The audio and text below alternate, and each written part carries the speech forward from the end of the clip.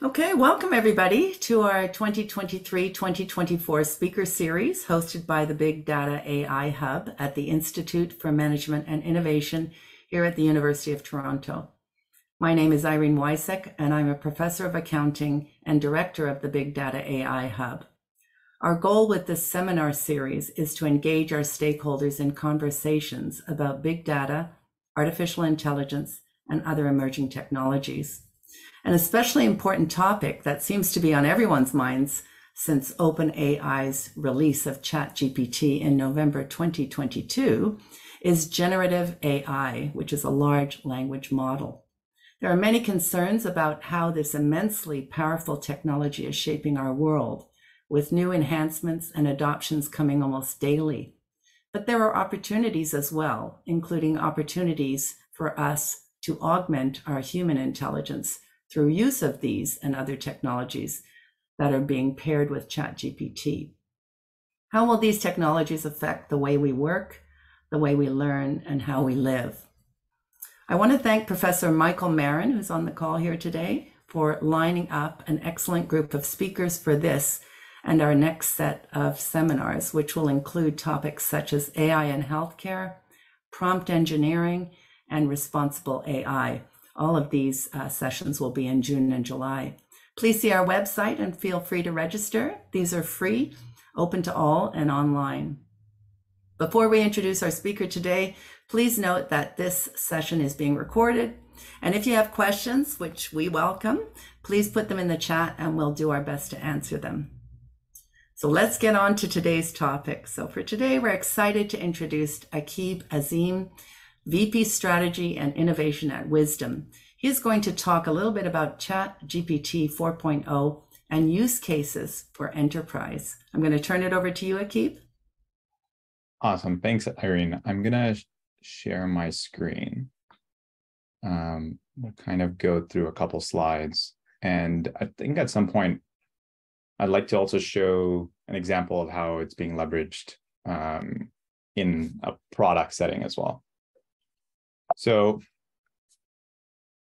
quick agenda. Um, I, will I'll give a quick intro into Wysdom, uh, the company I work for, um, and then we'll go into the industry use cases of, of chat GPT, generative AI kind of solutions. Um, and then I'll also talk about why analytics matters in terms of analyzing uh, these kind of advanced generative AI bots. Um, something that everyone kind of uh, doesn't focus on today is what's the aftermath of of these kind of generative conversation and who's analyzing to understand what's actually going on um, post conversations. So again, a little bit about me. I'm Aaqib Azeem. I'm Vice President of Strategy Innovation. Uh, I've been at Wysdom for just under four years now. Uh, previously, I used to run product for Wysdom.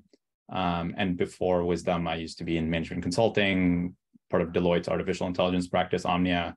Um, so uh, I've been in the AI space for for quite some time now. A little background into Wysdom. Um, Wysdom is a conversational AI company. Uh, Wysdom's been around for over a decade now. Uh, we've essentially um, we run a lot of the large chatbot management practices across uh, North America. So I'm sure you probably recognize a lot of the logos here. We run their chatbots. So if you're interacting with some of these brands' chatbot solutions, Wysdom's behind the scene that actually runs the solution for them. Um, and the way we kind of work is our goal is to make these solutions smarter and better. And large language models, generative AI is another avenue that kind of advances these capabilities, gives more uh, tools for our teams to develop more advanced use cases. So for these brands and other ones that uh, we couldn't put on this page. Uh, what we're hoping to do is build more sophisticated uh, solutions where the customer experience is going to be more advanced and more bespoke for for that specific customer. And we, again, uh, because we've been doing this for so long, um, we know kind of the ins and outs of what's capable on the AI side and and even what's not. Right? I think that's important to know. Great. I'm gonna do a quick, and just because I know I see there's a lot of people on the call, um, I don't know how familiar everyone is with um, large language models compared to NLU, which is natural language understanding. I'll just go, do a quick uh, kind of walkthrough.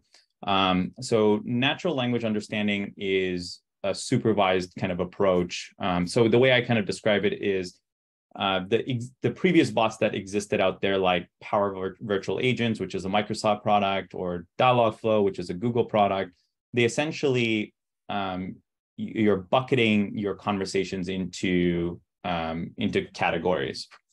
And the way it works is uh, humans go in and they build out these uh, buckets, and the AI model is based off what the customer is coming in and asking questions around puts them into one of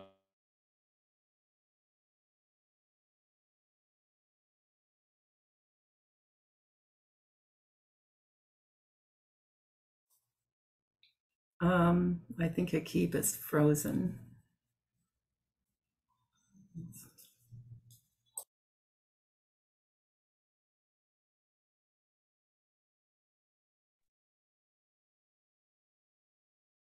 Hey, sorry, I think I uh, cut out for a second. Yeah, if you could just reshare your screen and keep, sorry about that. Oh, yes, not a problem.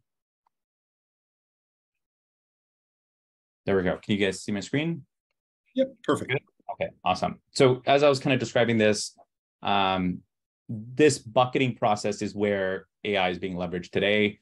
Um, a lot of human interaction to actually build out these chatbots um, and to maintain these chatbot solutions. So people have to go and build out these intents. And then as customers ask questions uh, has to be pushed towards a specific intent. The problem with th- this existing solution is you probably have interacted with chatbots before and they continuously say i don't understand. And that that problem exists because uh, there's a lot of different things you can ask a chatbot um, and there's only very specific use cases it's been trained on.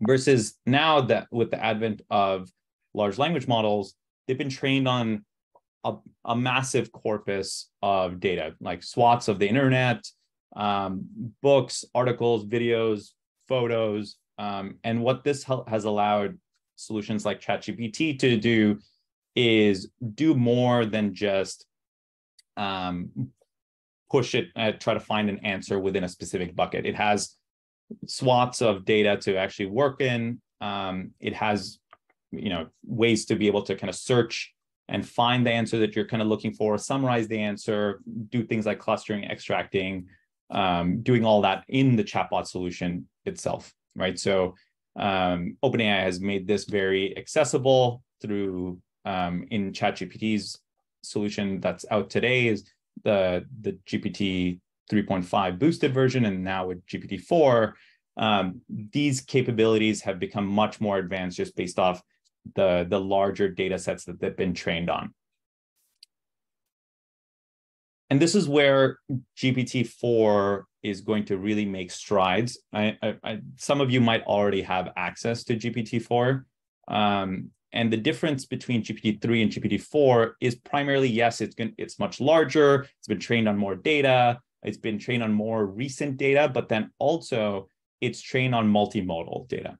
Um, so GPT-3, you can now, uh, compared to GPT-3, you were able to only provide text and you get an output of, of text versus the new GPT-4 solution, once fully released, you would be able to input things like audio, video, and text, and be able to get outputs of audio, video, and text as well, right? The model will be able to understand uh, things you would be able to just naturally speak to it or send videos to it and be able to kind of really comprehend uh, what you were kind of saying instead of just typing it out how you would traditionally do it. Um, and this is an example of like how it would kind of work, right? You can send it uh, a photo, it would be able to understand. You can send it like images, it would be able to understand. So it's very, it's going to really change the way we we kind of interact with chatbots.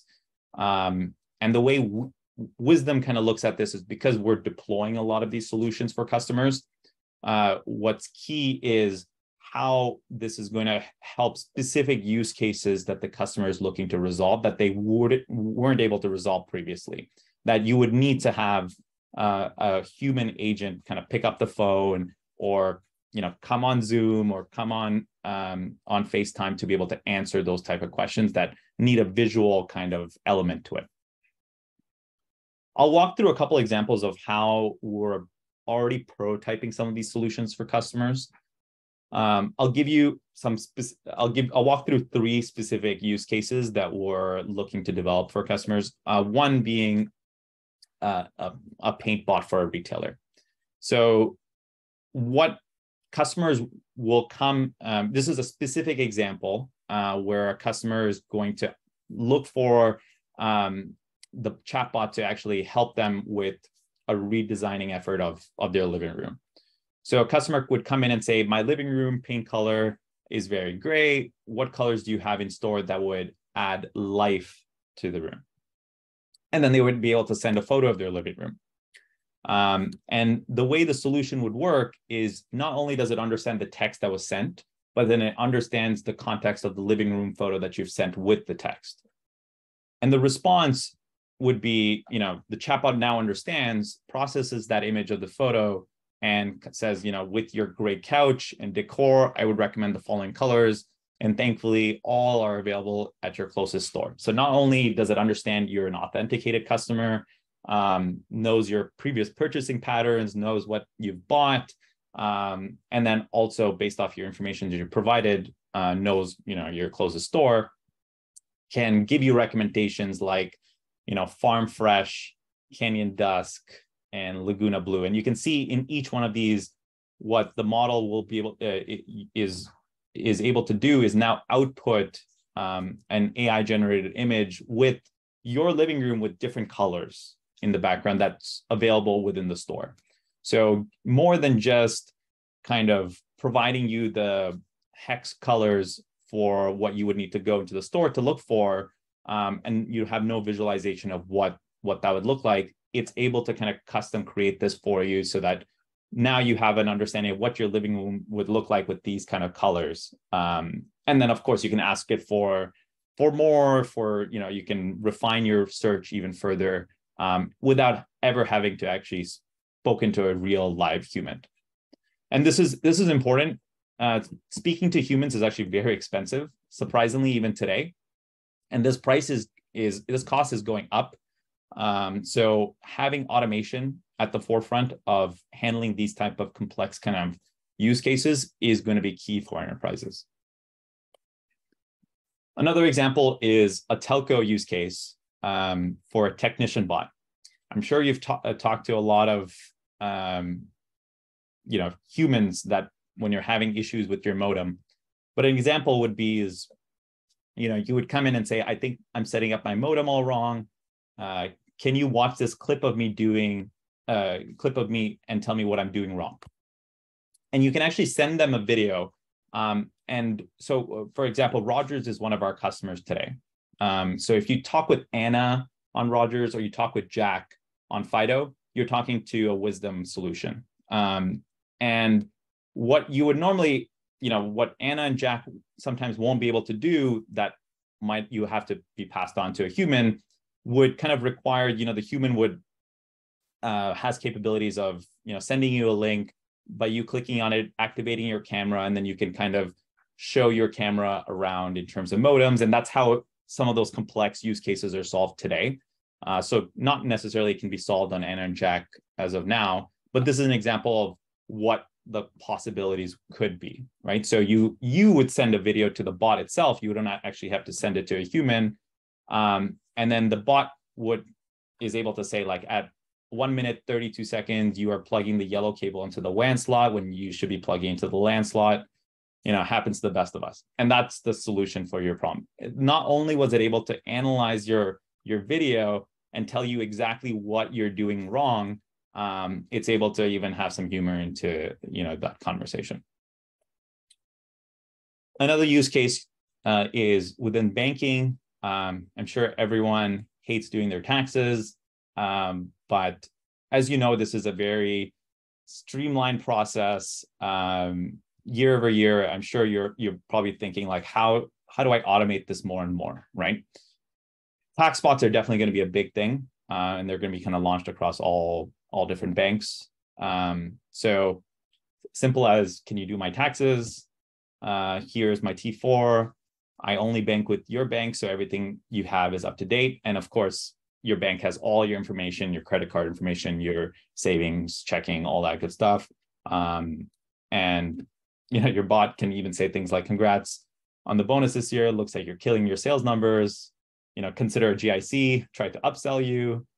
Um, and then even say, you know, complete your taxes and say, "Here's a receipt." Right. So as simple as, uh, you know, three messages, it's able to kind of complete your your taxes for you. So this is the kind of art of the possible of what we're looking to kind of build out for customers and what where we're heading uh, towards in these kind of more complex use cases. Today's use cases are obviously much more trying to answer the the questions you would hope it should be able to answer. Um, the ones that people always think chatbots, you know, suck. Uh, why aren't they able to answer these basic questions? I think that's the first goal, handling those simple questions that the bot should be able to answer, and then move on to some of these more complex kind of use cases. And one thing to note with generative AI bots is there's still a lot of issues. Um, I'm sure you've seen this. I think there was, uh, as soon as ChatGPT was kind of announced, there was a lot of hype uh, around all the kind of capabilities it's able to do. And then you probably noticed like a week or two after that, then everyone was kind of posting all the things it can't do. Um, so it's important to know its limitations. It's not necessarily a black box. Uh, so there is things you can do to actually improve and advance it, um, but you can't rely on it to solve the situation itself. It, just because you're training it on more data, um, just because the use cases are are now kind of inbuilt into the solution, doesn't mean it's going to get things right every time, right? And uh, even OpenAI's um, team has kind of made this very clear. The models are getting better, but they're not perfect. And you're dealing with enterprise customers. Um, as an enterprise, you don't ever want to give an answer to a customer that you're not 100% uh, certain of.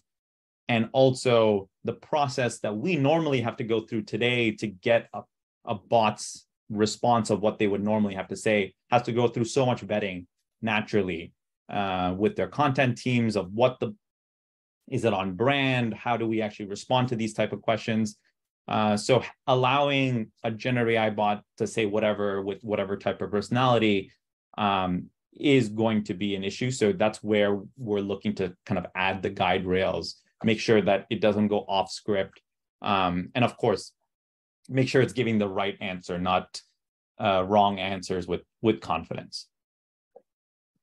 And this is where this is what I think the industry is kind of heading towards. I don't think generative AI will necessarily replace the traditional bots. Um, but we're already seeing this. It's already complementing existing NLU uh, chatbots and voice bots.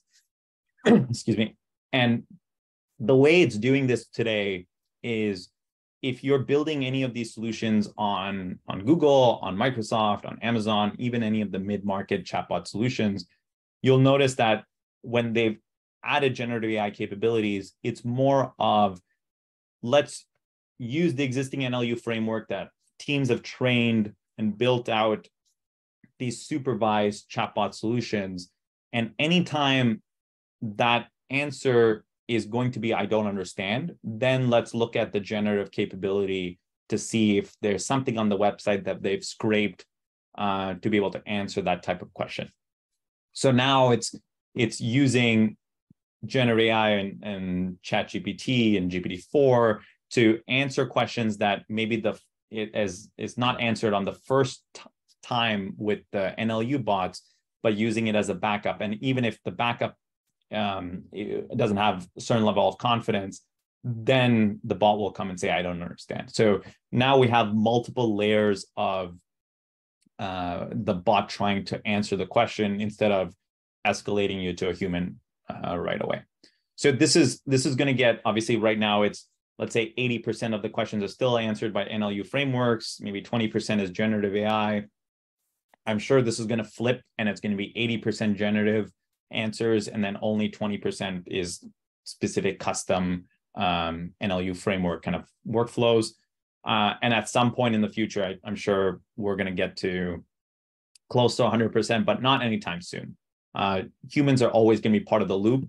It'll always be some sort of a hybrid approach. Um, and the reason humans need to be part of the loop is no company is going to let up uh, let go of its brand recognition to to a chatbot solution to answer how it feels like. And the way uh, we see this transition happening is with current gen bots, um, you know, with the way that they're exist, they've been built, uh, is based off intents. Um, there's some there's some good analytics. This is where we focused on uh, with our product, which is our operation center product.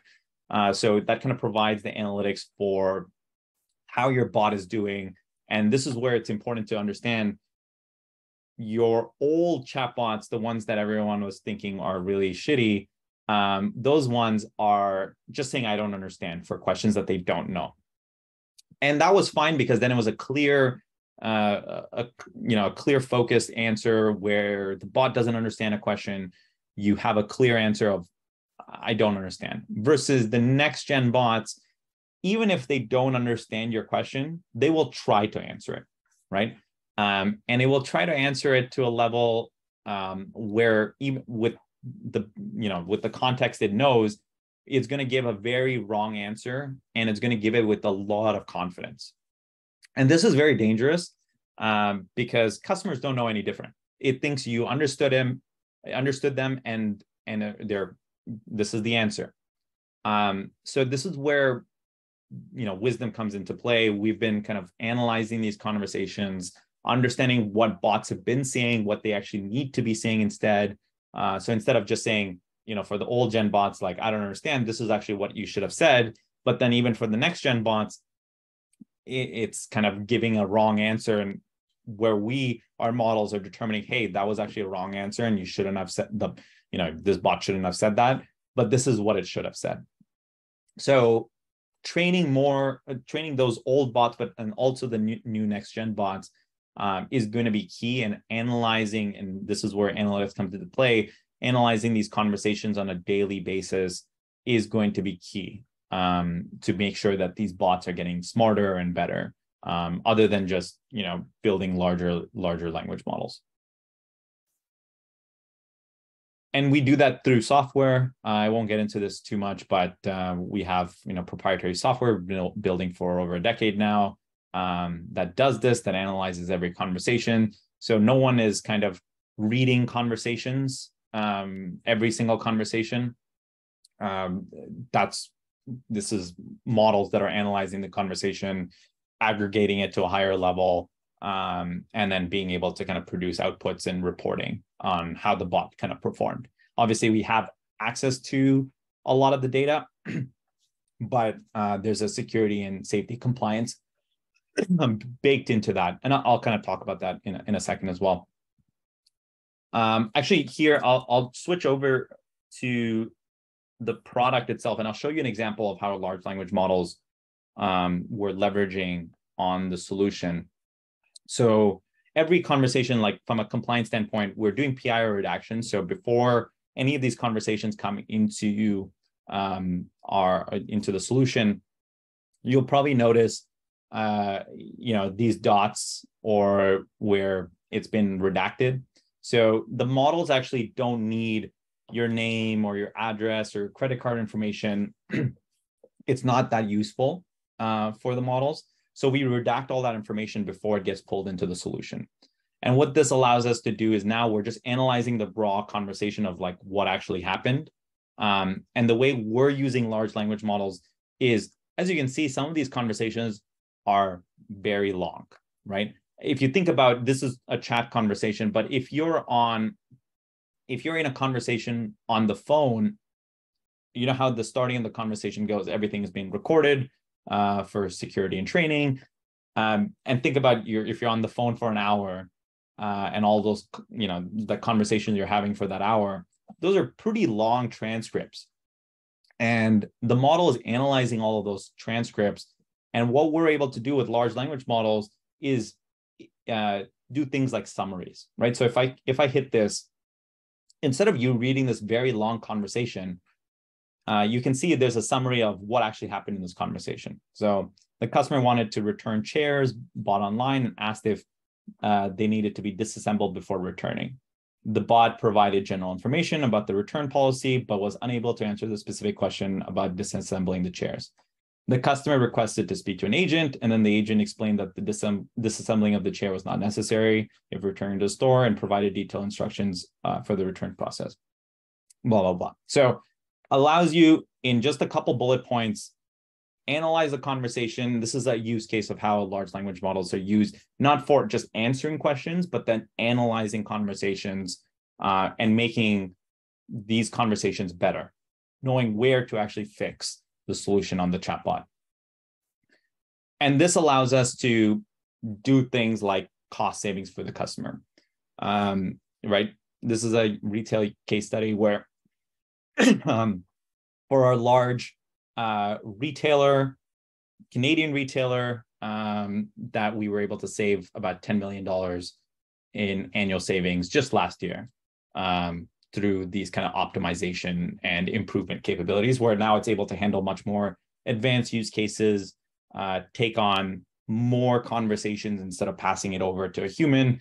Uh, usually, talking to a human is about, you know, if we're talking about costs, it's about like $10 to talk to a human per hour or per conversation uh, versus getting, you know, uh, being managed on the bot is we're talking about, you know, a couple cents. So you really want to drive a lot of your volume to your chatbots and not have them escalate to a human. So a lot of these cost savings is just based off how well you're able to automate and handle those more complex use cases. And that's where, you know, with more advancements in the large language models and generative AI space, we'll be able to take on more and more complex use cases um, as I was kind of showing, but even being able to do things like multiple tasks other than that one singular task where the bot, I'm sure you've seen those examples of um, they give ChatGPT a task to go and achieve, and it goes and use multiple websites and it kind of navigates the internet and solves those problems.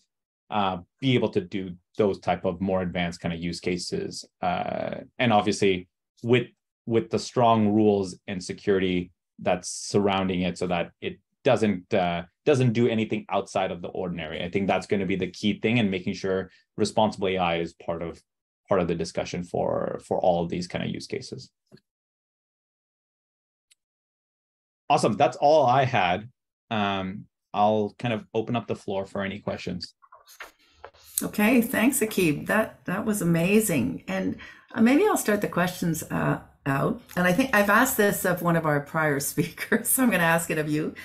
Um, I think we're all looking at this generative AI as a move away from narrow AI, which everybody was saying, look, AI can only do these very limited things, and, and there's lots of things it won't be able to do, to more general AI um, mm-hmm. which is really closer to replicating how humans think. So we're moving less away, more away from artificial intelligence and closer to human intelligence. And when I, you know, the, some of the points you have in your uh, presentation there, you, you talk about humor. It can give you humor. It's got context. It can generalize and it can deal with increasingly complex situations. And, and I totally agree. When I get one of those chatbots, you know, at Rogers, I am like irritated within probably two minutes. but when I'm talking to my uh, my chat GPT, I'm quite happy. I, I, know that it, some wrong stuff going on there, but I'm quite happy and I'm happy to keep going with it. And so, in your mind, how close are we getting to general AI with this kind of technology? Yeah, it's it's a good it's a good question because I think it depends on where you're having these interactions. Um, I think from an industry standpoint, I think we're still some ways away, um, just because there is a lot of uh, scrutiny in terms of how interactions need to be had with a brand. Um, so I don't think they'll necessarily open it up to allowing every type of conversation allowing you to you know really dive deep into those more complex kind of interactions with different type of humor or different you know those uh, that different type of personality that even you can get from a from your chat gpt solution. Um, because the the benefit of chat gpt is it can it can get things wrong and everything's fine right, right? um, it's very clear in that that it's kind of brought that up right at the forefront. Uh, it's trying its best right uh, versus for an enterprise use case, it can't get anything wrong, uh, mm-hmm. not even one. So that's where it's very, you know, very um, tight in terms of what is allowed and what they're able to kind of roll out for customers because they will never trust something that won't give you 100% of an answer um, the right right time every time right? So this is where again you you probably notice things like your google home or your alexa. Oh no i think i probably kicked off a bunch of people's google homes but um, those solutions are going to get better for sure. Uh, you'll be able to see the answers that it will give you will be a lot more custom and yes it will get things wrong but it'll improve and that's fine but when you're ch- chatting with some of these enterprise chatbots, you'll probably still notice that it won't be able to do everything um, and still will try to handle specific use cases really well and try to take you down specific journeys. Um, but if you're trying to take it off its path and try a different route for your specific example, that's when you probably get handed over to a human um, at, at some point. I think we're still pretty far away from it being able to handle those even small deviants in your in your conversation type. Uh, so that general intelligence won't maybe exist on a enterprise chatbot, but will exist on those kind of um, you know personal assistants. I would say. Very interesting. So, uh, but we're moving further down that path. Okay, we got some questions coming in. Um, I think maybe Aaqib, do you want to? Can you see them yourself? Yes, yes. I see a question from Artisher. Hey, Ard. I actually know Ard uh, well. um, question for Aaqib on the broader topic. My company is exploring use cases on ChatGPT and similar tools for text generation, content review, capability streamlining, proposal work, um, project reporting, yeah, all that good stuff. So our our biggest our reservation at this point is related to the issues of confidentiality. Yeah, uh, naturally, the more specific the prompts are in the tools, the more useful the outputs. What happens to the data I put in ChatGPT? What solutions do you recommend that I can utilize AI in the way that I want content? So I, I would say yes, this is a problem everyone has, um, and the way industries are kind of leveraging this, you can't use ChatGPT specifically because uh, with specifically ChatGPT, you're going to you're essentially um, allowing them to use all your data. Um, that's why a lot of businesses have actually banned using ChatGPT. Um, so what you could use is the underlying technology, which is the uh, the large language model. Uh, so you can use uh, GPT-4, GPT 3.5, and then set it up on your own reserved instance. Um, so you can tune it, and it'll sit. You know, even the data that you uh, you've added to it and you manage will actually be on your specific instance. So that way you don't actually, you're not, you know, relying on, uh, you, you're not opening up your data to uh, OpenAI and, and giving them access to that uh, to that data. So I think there's more of these type of solutions that are kind of popping up, more than just OpenAI. Like even Google and um, and Microsoft are offering it. Google is offering it in their GCP instances, and uh, Microsoft's offering in their Azure instances of being able to kind of set these up, build out your own kind of capabilities. I know Ard, I think you used to work in the nuclear space. OPG has like a, a chatbot solution that they've uh, launched, for example, uh, internally, of course. Um, that's how they were able to kind of do that without having to give up, you know, their data, internal data to to OpenAI. Thanks, that's great. And I guess uh, George has a question also. Yes. Uh, there are multiple advantages advantages for enterprises. What are the advantages for customers besides uh, the saving time, which is most obvious? So uh, yeah, saving time, I would say, is obviously the biggest advantage. Um, but then I I think if you think about like what you're hoping to do with uh, when you call in to a brand um, is going to be saving time, right? Like you don't want to be on hold for an hour to talk to someone to, and then they just tell you the same thing that you would have known, or they have to just hit a reset button or something on their side. Um, so I think the saving time is going to be the biggest uh, KPI for uh, for businesses, uh, but then also for consumer. I I would say the other thing that other than saving time would be uh, the kind of bespokeness of the conversations. Not only like if you think about a human, they wouldn't be able to know every detail about you. Um, they would have to go read through tons of notes to be able to understand uh, how loyal of a customer you are or w- all the stuff you bought from that specific company um, and then be able to kind of give you a really good experience with these kind of generative solutions the advantages here are before it even speaks to you um, it knows if you're uh, if, if you know usually brands do customer segmentation it would know what type of value customer you are. Is it are you a super high value customer? Are you you know um, you know high growth customer? All that kind of stuff. It would know what type of customer you are, so it would know how to actually uh, address you and even be able to do things like I'm sure you've probably interacted with um, some of like Uber and stuff. They they would give you discounts. Like my wife gets a different discount on her Uber Eats than I do, right? So I get maybe like 30% off, she gets like 50% off. Um, and it and it's because you know she might be a high growth customer that they're trying to acquire uh, and get on the platform more.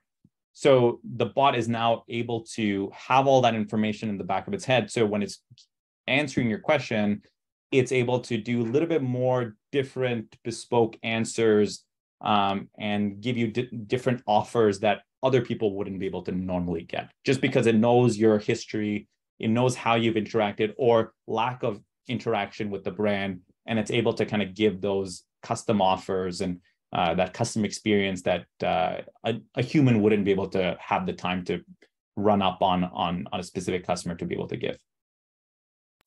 Hope that answered your question george thanks Aaqib and thanks george for that question and bilal hi bilal bilal's one of, one of our alumni oh, awesome. So Bilal, your question is thank, thank you for your presentation. Uh, from your experience working with clients that have implemented similar solutions such as chatbots, ChatGPT, etc., what risks uh, sh should they consider and best practices, safeguards they should put in place to prevent issues such as uh, misuse of information, sharing incorrect generative information with their customers, impact on internal software. Yeah, so that's where our product comes into place. That's where Wysdom kind of sits. We are the chatbot management company. Uh, we are one of very few chatbot management, chatbot operations companies um, in the world. So um, again, the reason why this is important is because uh, people think, you know, the hardest thing is to stand up a chatbot. And that has become actually much cheaper and much easier to do. Uh, everyone here can actually stand up a chatbot in, I would say, in like 10 minutes tops. Uh, you can use one of the no code kind of solutions that are offered by some of the big tech companies and uh, even from the mid market guys, and you can set up a chatbot pretty pretty quickly.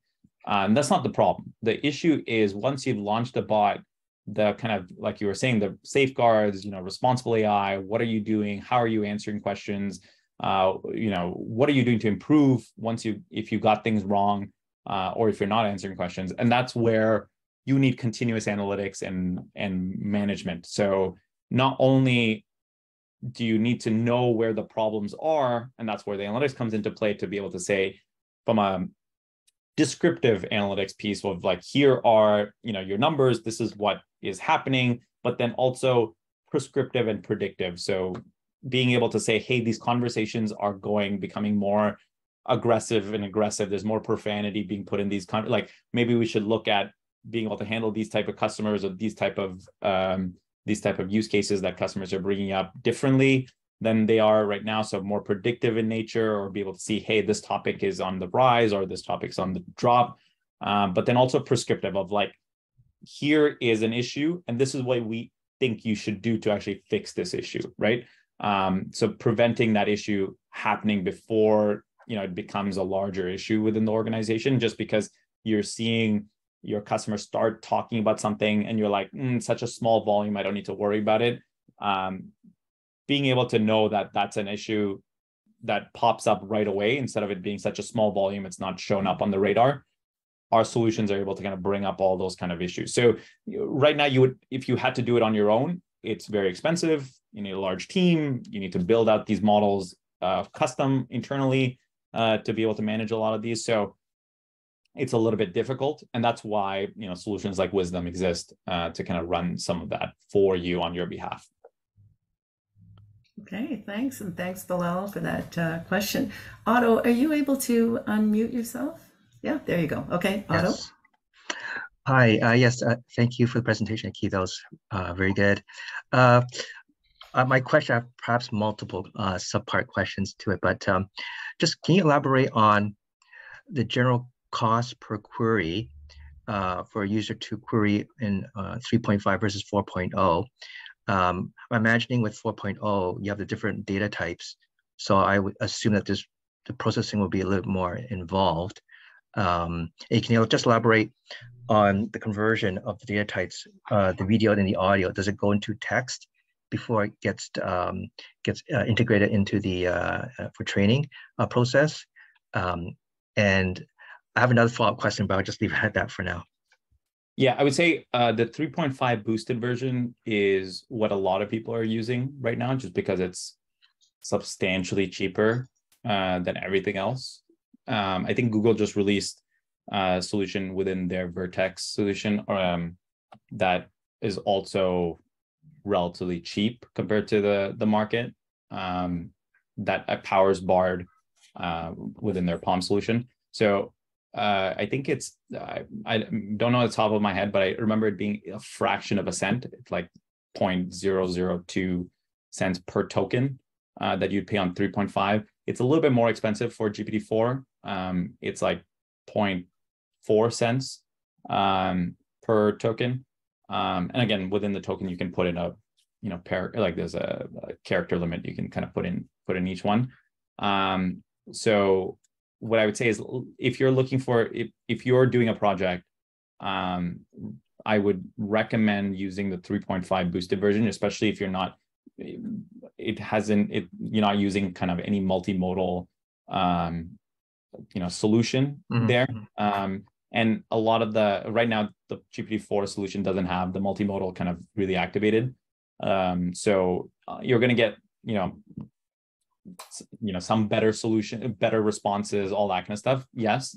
Uh, but we've seen like the 3.5 is pretty good for majority of use cases. If you can afford to do gpt-4 um, which we can um, but not everyone can so mm-hmm. i think then it makes sense to uh, to to try it out um, but once i think once once the multimodal solution is is enabled it's going to be a lot it's going to there's be specific use cases that you wouldn't be able to do on 3.5 so then you would have to migrate over to 4 um, but yeah the cost we always see this as a the cost is always going to keep dropping. So gpt-5 comes out 4 will drop substantially. Six it's like you know it's like the iphone right? It's like your next generation is always going to drop the the previous generation Great, thanks. Uh, can I ask a, a quick follow-up question? Ari? Yeah.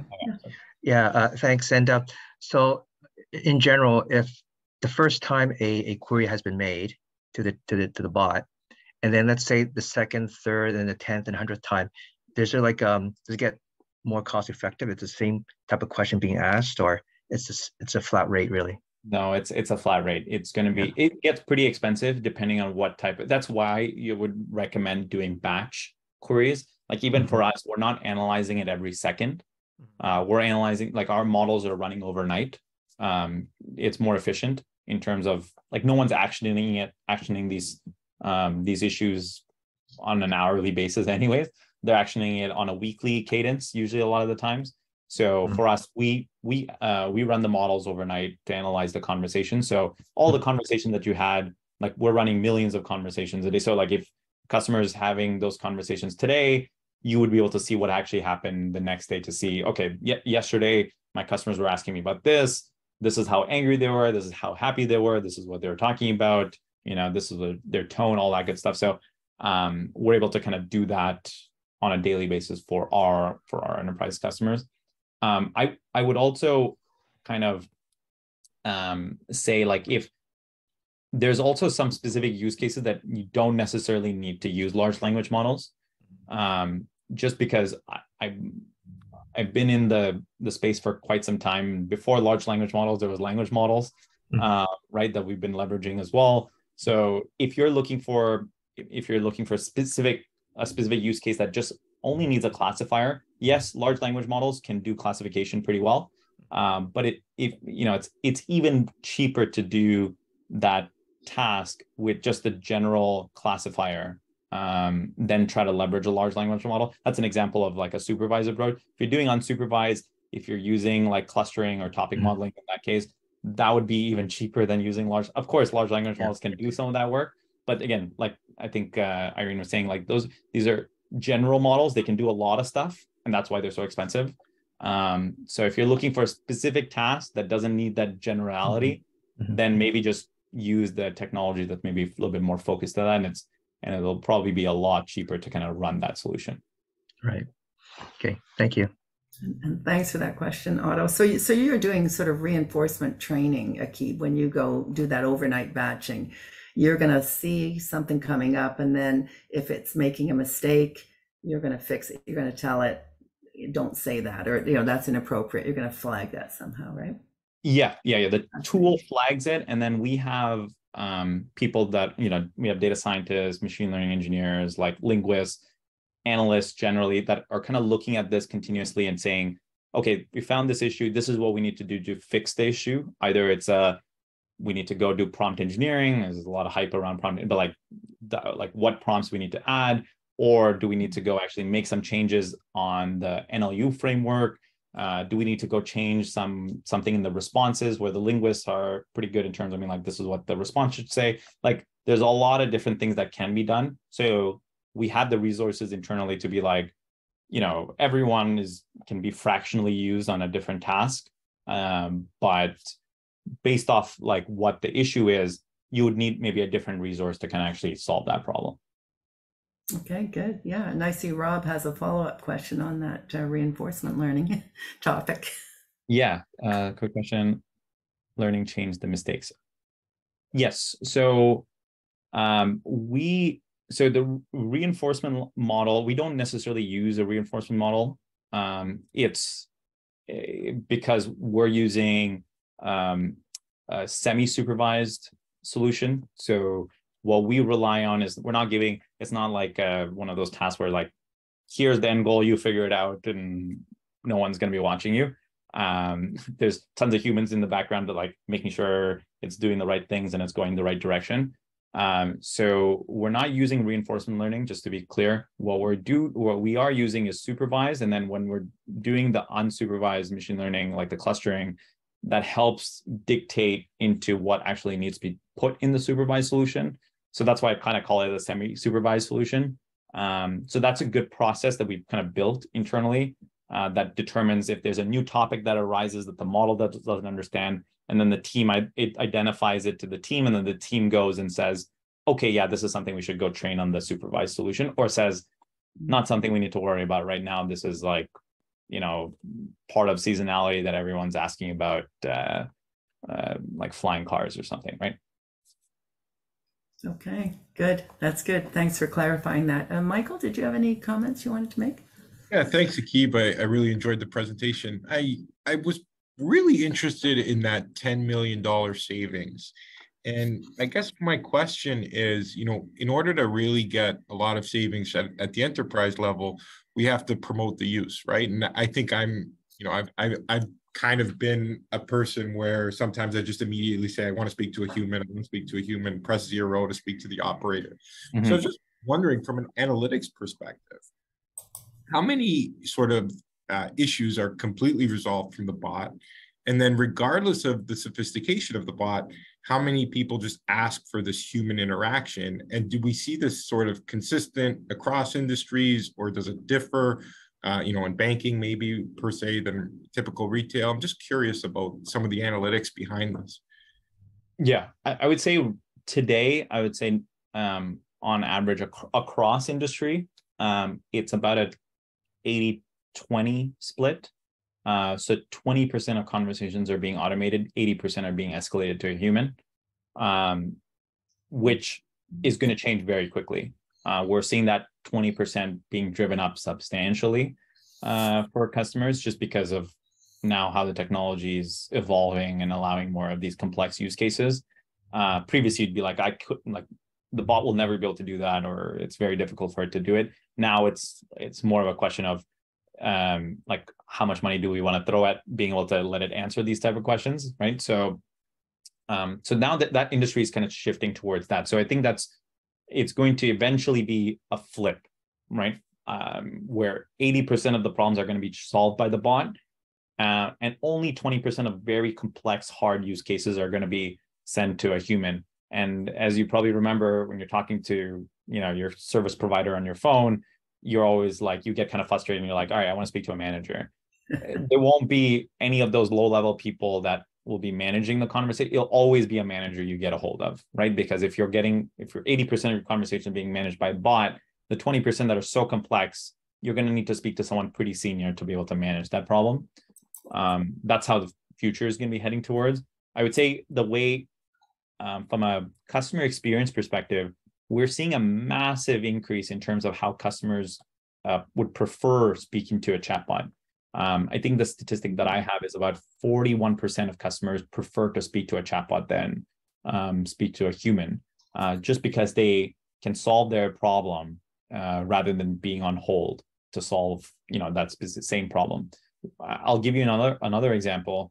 Um, been working, uh, you know, we worked with, um, you know, um, kind of a helpline where you would have to you have to kind of call in and then you'd be put on hold. Um, and this is a helpline that you know helps is kind of uh, a very high sensitive very risk uh, thing for for you. And you would be on hold for hours to be able to speak to someone that can actually help you um, which is is crazy to think about but there's a lot of steps that are standardized that can help people um, that they just may not have access to or they don't know where to look for.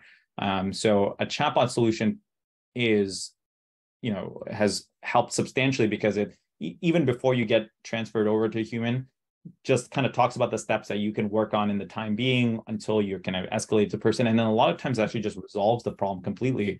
And then we started noticing, a, um, you know, there's been some um, with some of the launches with, uh, you know, uh, Snapchat and some of these other social medias that have launched uh, AI bots, uh, like ChatGPT like bots, um, have noticed a massive uptick in terms of uh, you know youth chatting with chatbots um, and prefer that over like typical counseling or mentorship and all that kind of stuff, just because they have the autonomy or anonymity of not actually worrying that they are getting judged and all that kind of stuff. So it's it's very interesting. Like more people are getting more used to talking to bots um, and that's just part of their you know everyday kind of occurrence. And the more that happens um, i think generationally uh, you will start seeing more people not texting or think they're just kind of you know turning on their apple watch and asking questions and getting answers. Okay. And and it, as i said it is kind of um, it's not unpleasant talking to a, a generative ai bot um, yeah. You know, so it's it, it's not an irritant. Is my point. So right. I think you'll get people increasingly, and like you say, there's no judgment there. If it's sensitive information, maybe people don't want to talk to another human being, like on those yeah. helplines you mentioned. So it's it's interesting. Uh, I think we have time for maybe one or two more questions. Uh, Otto, again. Uh, sure. Um, yeah. Thank. Th- thanks um, again for for answering all those questions. Very informative. And uh, uh, well, you know, I'm coming from an educator's perspective, and uh, you know, we're we're doing our best to uh, prepare our students, right, for what's to come.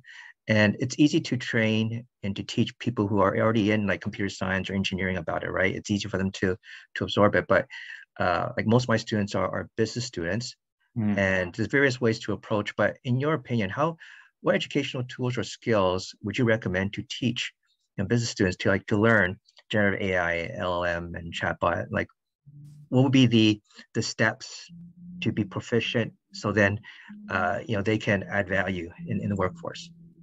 Yeah, I um I would say it's it's not as difficult as people would think. Um, I would recommend you first. You don't need to be a data scientist to be you know well versed on chatbots specifically, just because a lot of the the solutions out there they're actually no code um, solutions. So uh, I would recommend you first if you're interested in the conversation AI space in the chatbot space, uh, go build a bot on your own right? Um, very easy to do. And like I said, it takes like 10 minutes. Um, sometimes even part of my interviews, it's one of the questions I would I'll ask. Uh, you know, go build like as part of a case study, go build out a bunch of different bots across some some different vendors, and then tell me the differences of like what you liked between one versus the other in terms of the way it kind of interacts, and then also the build process. So it's very easy to get started um, in that. It's very intuitive. So that's something I would I would definitely recommend. And then if you want to understand some of like how the the you know the the sausage is made behind the scenes of like how the classifier is answering questions, how large language models kind of work, what is a transformer, you know, why are transformers used in large language, like all that kind of stuff. Um, then there's obviously tons of material online. Um, you know, Coursera work, there's the Andrew Ng's courses. Um, yeah that kind of help with uh, data science and stuff. So I think there's a lot of different online material that you don't necessarily um, need to go get. Like I, I did do, uh, to be fair, I did do my master's in AI management.